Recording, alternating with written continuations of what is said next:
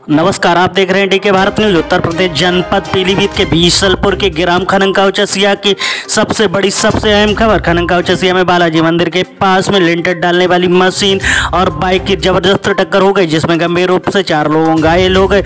और उन्हें घायल अवस्था में अस्पताल में भेजा गया है, जिन्हें उपचार के दौरान उनका ट्रीटमेंट चल रहा है। वहाँ मामला गंभीर बताया जा रहा है। उधर से बीसलपुर की तरफ़ से आ रही थी लिंटर डालने वाली मशीन। इधर से बाइक जा रही थी। आमने सामने भिड़त हो गई, जिससे बाइक पर बैठी एक औरत उसका जो बताया जा रहा है पति था, वो गंभीर रूप से घायल हो गए। उधर जो मशीन पे बैठे ट्रैक्टर चला रहे थे, उसमें भी दो लोग गंभीर रूप से घायल हो गए। बताया जा रहा है ट्रैक्टर वाले ग्राम नीवा डायरडी के रहने वाले थे। उत्तर प्रदेश जनपद पीलीभीत, बीसलपुर की सबसे बड़ी, सबसे अहम खबर, बाल बाल हुआ हादसा, जिसमें गंभीर रूप से घायल हो गए। ये सबसे बड़ी, सबसे अहम खबर आपको बताने जा रहा हूँ। डी के बारह न्यूज़ चैनल को सब्सक्राइब करें, लाइक करें, शेयर करें।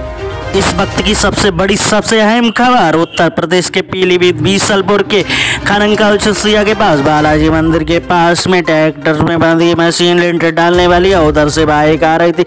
बाइक और ट्रैक्टर, उसकी ज़बरदस्त टक्कर हो गई, जिसमें गंभीर रूप से लोग घायल हो गए। घायलों को इलाज के लिए अस्पताल में रेफर कर दिया गया है। जानकारी के मुताबिक ट्रैक्टर वाले और मशीन वाले निवाड़ावाड़ी के बताए जा रहे हैं, बताया जा रहे हैं कि काफ़ी गंभीर हालत में हैं। giant